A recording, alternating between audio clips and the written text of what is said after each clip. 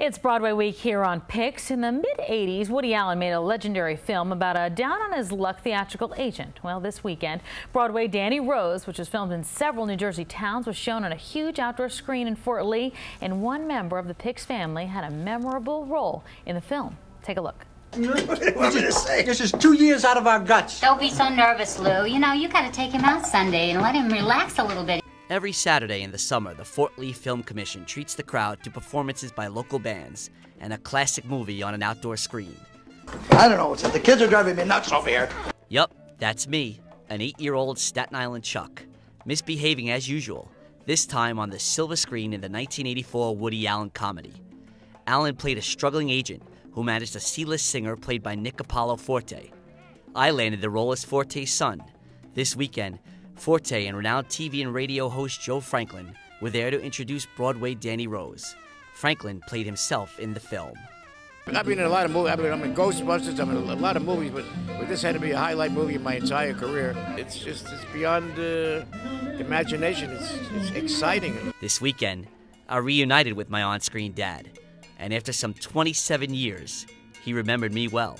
But you really gave me trouble.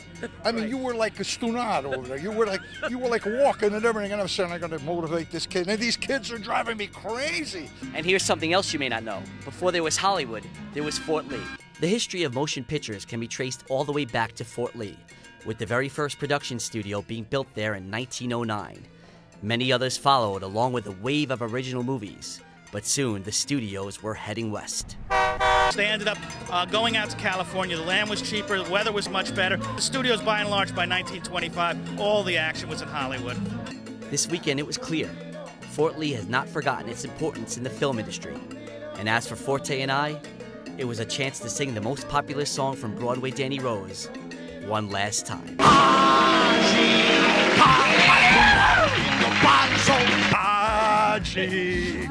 my gumba in the bond zone. When I eat, he gets his treat like a con zone. He enjoys every meal, every bite that I steal. Agita, my gumba in the bond zone. Rum pa pam. All right, Agita.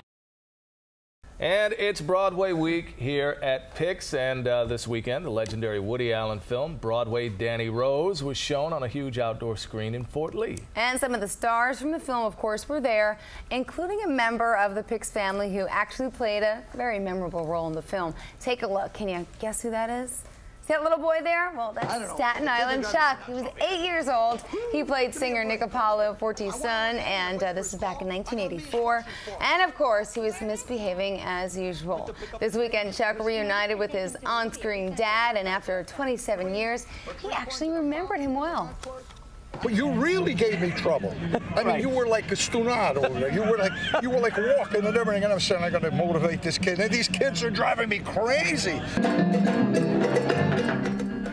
Now, Fort Lee was the original birthplace of the film industry, even before Hollywood. Uh-uh. Every Saturday in the Uh-oh. summer, the Fort Lee Film Commission treats a crowd to movies and music under the stars. It's a chance for the town to celebrate its rich film history. As for Forte and Chuck, it was a chance to sing the popular song from the film one last time.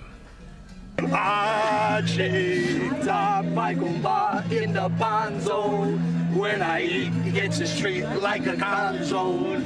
He enjoys every meal, every bite that I steal. Agita, my gumba in the bond zone. And we got to see a little bit of Chuck uh, doing his thing, moving, but I'm sure he danced the rest of the night as well, right? Yeah, yeah, it was funny. Chuck was saying that you know he wondered if the guy was gonna gonna remember him, and he did very fondly. And he too. called him stunad. Do you think Chuck is? I, You're asking me? Chuck, we love you. He was just joking, I'm sure. I hope your feelings aren't hurt. And again, you won't be seeing Chuck singing on Broadway. I hope not, you think? But coming up in the 8 o'clock hour, we'll be checking out Priscilla, Queen of the Desert, as Broadway Week kicks off here on Pix. I actually think he'd be good in Chicago, don't you? He'd be Shouldn't great. Yeah, he should, you know, dress up.